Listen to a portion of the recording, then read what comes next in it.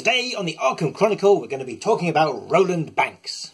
Roland has the highest combat of all the investigators in the core box. He's pretty average at investigation, he's pretty average with willpower, but his low agility makes him very poor at evading. In order to talk about Roland, we need to recap on the phrase discover a clue. Discover a clue means to remove one clue token from a location and place it on your investigator card under your control. If there are no clues on a location, you cannot discover any. Roland's signature ability is a reaction trigger. It says, after you defeat an enemy, discover one clue at your location. Defeating an enemy is done by dealing equal or greater damage than its health value, and removing it from play. This is an excellent ability providing there are both enemies and clues at your location. If there are, you can do two jobs with one action. It also happens automatically without the need for an investigation test, so it's very effective at dealing with high shroud locations. You don't have to activate it if you need to leave clues in play, but don't leave them too long on a location worth victory points. Roland's Elder Sign ability is plus one to that test for each clue on your location. But remember, on standard difficulty, there's only a 1 in 16 of this coming up. Roland's bonus card is his 38 special. It functions identically to the 45 automatic except it costs one less resource and has two additional icons, a combat icon and a wild. It also gives you an extra bonus to your combat value in a fight test if there are clues at your location. This is why his special ability is an optional trigger so you aren't forced to lose his bonus. You can only have one copy of this card in your deck, but you can put three more uses on it with extra ammunition. Roland's weakness is quite brutal. When this card comes into your hand, resolve the Revelation ability that says, Revelation, put cover up into play in your threat area with three clues on it. The last thing the card says is forced. When the game ends, if there are any clues on cover up, you suffer one mental trauma. This means that you start each future game with one horror token already on your card. And for Roland, that is devastating.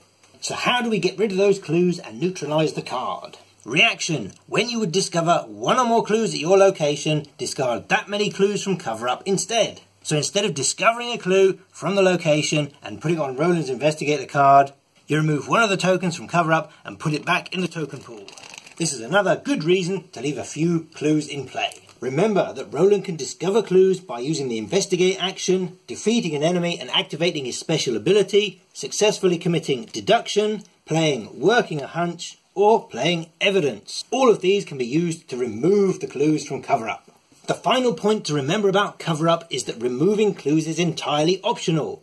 If you're in the last game of a campaign, why bother?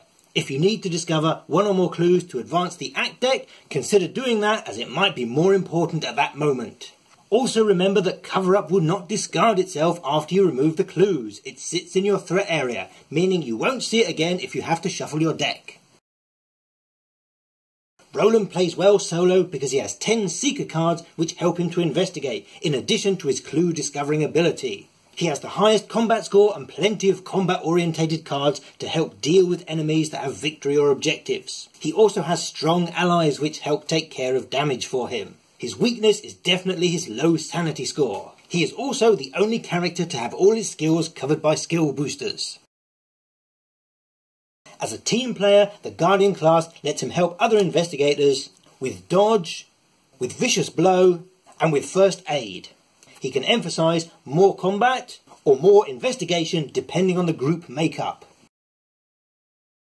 Out of the core box, he plays fine, although a couple of the cards like Research Librarian and Mind Over Matter are more suited to Daisy. Old Book of Lore is useful for avoiding cover up, but it does take up a hand slot. Cryptic Research too high level for him. As the Disc of Itzamna is a one-shot item, Roland is much better off just shooting monsters instead. Using the Encyclopedia to give him plus 2 combat is great, and you can do that every turn. The Experienced Magnifying Glass is good because it zips back to your hand when you don't need it, freeing up space for weapons. It's tempting to go for Shotgun because Roland is the only core character that can use it. However, it's entirely dependent on success, which means you can be committing an awful lot of cards or resources just to have an auto fail. If you do go for the shotgun, make sure you pick up extra ammunition, which, at only 1 XP and 2 cost, should be in any firearms deck. The bulletproof vest isn't as versatile as an upgraded beat cop police badge, and those extra actions are a boon for any investigator. However, as Roland has the lowest sanity, of the core investigators give some serious thought to including the Elder Sign amulet. Because he can shift his balance between combat and investigation and often achieve both in a single action, he can partner up with anyone, and his Guardian class abilities make him a solid teammate. If you have one core box, you will only get to play him with Wendy or Agnes, and either of those is fine.